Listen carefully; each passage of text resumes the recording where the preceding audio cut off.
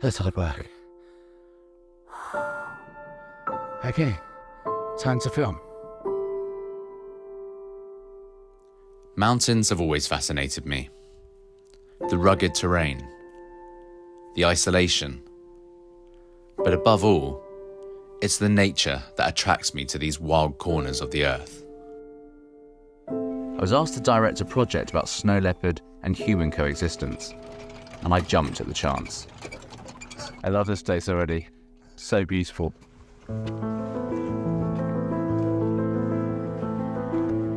In the shadows of the legendary Annapurna Mountains is Manang, a rural Nepalese village that's been transformed by tourism. To get there from Nepal's capital, Kathmandu, it takes two days by car.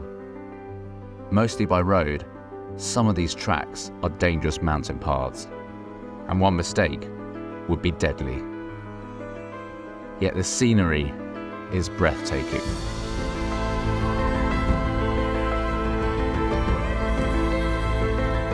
This place is stunning. It is just a dream to have the Sony A1, A7S III and all the lenses here because it is just one of the most cinematic places I've ever been to. And I'm now just really excited to get up to Manang and see if we can find some snow leopards.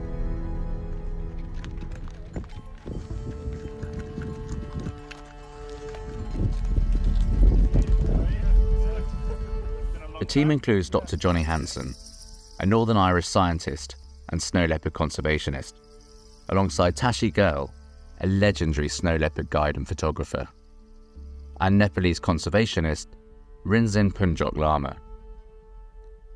We set out to interview local farmers to find out how they coexist with predators. But above all, I wanted to film a snow leopard. We've been walking about two hours now, maybe up about 300 meters, and Tashi's taken us to one of his favorite spots where he's seen, mainly sees the snow leopards.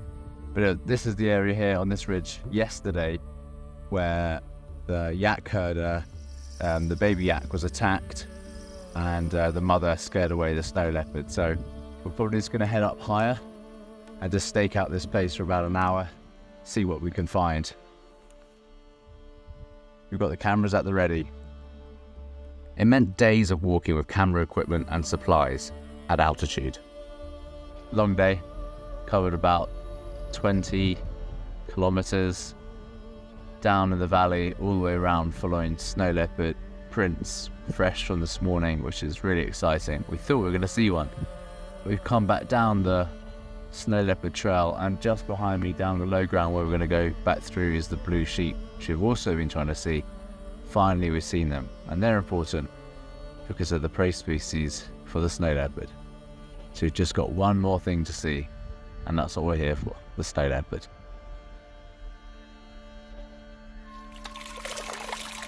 Nothing better than mountain water. Oh,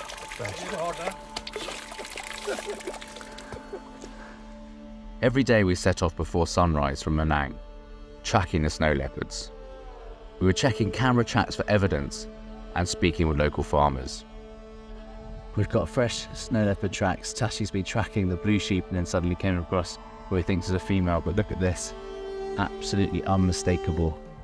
You see the pads of the pug. One pug, two pug. It's clear as day. Look at that. Look at my hand size.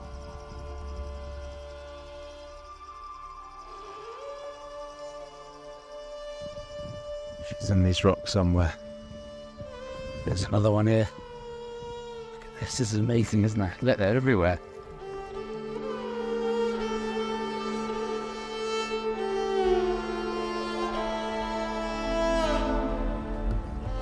One morning, we came across what looked like roadkill. Amazingly, a local wood gatherer had seen the kill and confirmed it was a snow leopard and her cub. The snow leopard chased from higher and it fell down here. So you can see uh, the, the buck mark is around here. So a snow leopard killed. The vulture is already here, so vulture they are very quick. In, in an hour they will finish it. It's a true example of the human wildlife conflict a snow leopard making a kill to feed her young cub, but at a major cost to a local herder, who received very little in the way of compensation for this loss.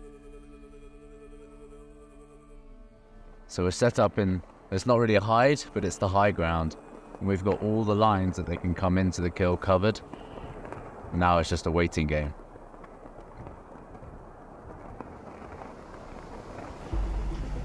One of the greatest surprises was the stark evidence of global warming in the Himalayas.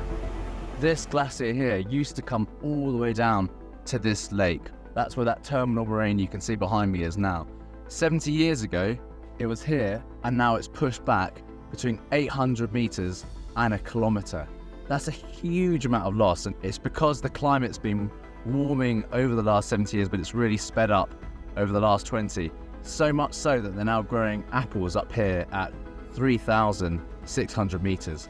It just shows you that climate change is real, and these people feel it the most up up here in the Himalayas. It's absolutely undeniable, and when you see it up close, it's just shocking to see that you know at some point that glacier will be no more. As we trekked around the mountains, filming vultures, blue sheep, and golden eagles, we kept finding signs that the snow leopards were here. And footage from the camera traps proved that they were very close. We trekked hours every day. We used the drone, binoculars, long lenses, and Tashi's tracking expertise, but to no avail.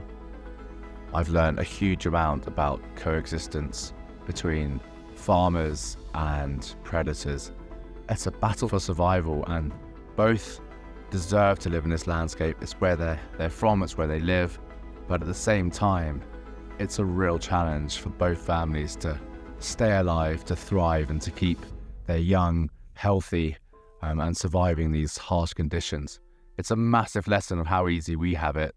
And for me, I've the big lesson I've learned is you can't come over to a country like this as a Westerner and start telling people what to do or coming in with your conservation ideas. You've got to listen because ultimately it's the local people that know best. They're known as the ghosts of the mountains for a reason. They are the masters of concealment. And I have no doubt that they were watching us. I'm really looking forward to heading back to these stunning mountains to finish our film in the future. Please subscribe to my channel if you want to see more behind the scenes content from my filmmaking expeditions.